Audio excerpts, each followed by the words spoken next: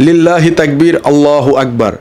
গোটা আকাশ বাতাস কেঁপে উঠেছে আল্লাহ আকবার এই ধ্বনিটিতে। ব্যক্তিগতভাবে আমি অনেক সন্তুষ্ট, অনেক খুশি।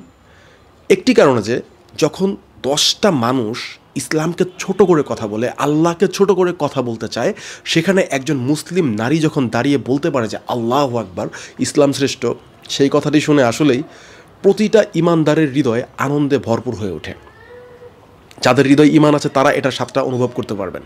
That's really amazing and I don't know কেন কয়েকদিন পর পর ইন্ডিয়াতে মুসলিমদের বিভিন্ন ধর্মীয় অধিকারে বাধা দেওয়া হয়। হিজাব একটি ধর্মীয় পোশাক, হিজাব মুসলিমদের একটি ইবাদত মেয়েদের জন্য। সো সে হিজাব পরবে, পর্দা করবে, এখানে কেন বাধা দেওয়া হচ্ছে আমি বুঝতে পারতেছি না। কেন বা কয়েক বছর আগে তাবরেজ আনসারিকে গাছের সাথে পিটিয়ে মেরে ফেলা হয়েছিল? শুধুমাত্র জয় শ্রীরাম এই স্লোগানটি না দেওয়ার কারণে। আই বিলিভ যে কোনো হিন্দু, কোনো মুসলিম, কোনো খ্রিস্টান, কোনো বৌদ্ধ এই জিনিসগুলোকে সাপোর্ট করেন না, কারণ এই জিনিসগুলো হচ্ছে টু মাচ বাড়াবাড়ি।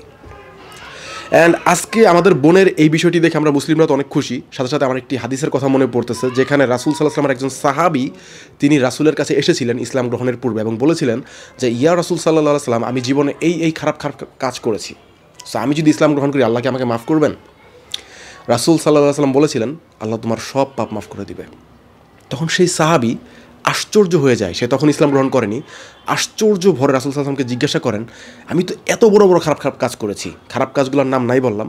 সে বললেন যে, এত এত খারাপ কাজ করেছে। এগুলো আল্লাহ মাফ করে দিবে। সে বিশ্বাস করতে পারতেছিল না।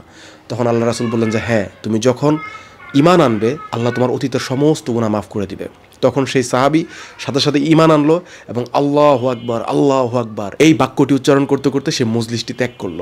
অর্থাৎ তার হৃদয়ে বলতেছিল যে আল্লাহ সবার চাইতে বড়, আল্লাহ সবার চাইতে বড়। যখন আল্লাহ পাক তাকে মাফ করে দিলেন, সে এই জিনিসটি রাসুল সাল্লামের কাছে জানতে পারলেন, তখন তার মন থেকে শুধু একটাই কথা আসলো, আল্লাহ আকবার, আল্লাহ আপনি সবার চেয়ে বড়, আল্লাহ আপনি সবার চেয়ে বড়। সো আজকে আমাদের সেই বোনের কাজটি দেখে আমার একই কথা মনে পড়ছে, আল্লাহ আপনি সবার চেয়ে বড়। আল্লাহ আপনি সবার চেয়ে বড়, আল্লাহ আকবার। আর আমরা যারা মুসলিমরা রয়েছি, অন্যায়ের বিরুদ্ধে কথা বলতে পারি না, অন্যায়ের বিরুদ্ধে কথা বলতে গেলে হাত পাকা পাকাবি শুরু হয়ে যায়। মানুষকে খুশি করার চেষ্টা করি, আল্লাহকে খুশি করার পরিবর্তে। তারা অনেক কিছুই শিখতে পারব আমাদের এই দিনী বোনটির কাছ থেকে, যিনি সবার সামনে আল্লাহ আকবার বাক্যটি উচ্চারণ করলেন এবং আল্লাহকে সবচাইতে উঁচু স্থানে রাখার জন্য চেষ্টা করলেন, আল্লাহকে প্রায়োরিটি দিলেন। ফলশ্রুতিতে আল্লাহ তালা তাকে সম্মানিত করলেন এবং দেখুন, গোটা পৃথিবীর মানুষ আজকে তার এই বাক্যটি নিয়ে ফেসবুকে ইনস্টাগ্রামে বিভিন্ন জায়গায় স্ট্যাটাস দিচ্ছে। সো আল্লাহকে ভালোবাসুন, আল্লাহ আপনার সম্মানকে বাড়িয়ে দেবেন, ইনশাআল্লাহ। আজকের ভিডিও পর্যন্তই। আসসালামু আলাইকুম রহমতুল্লাহি ওবরাকাতহ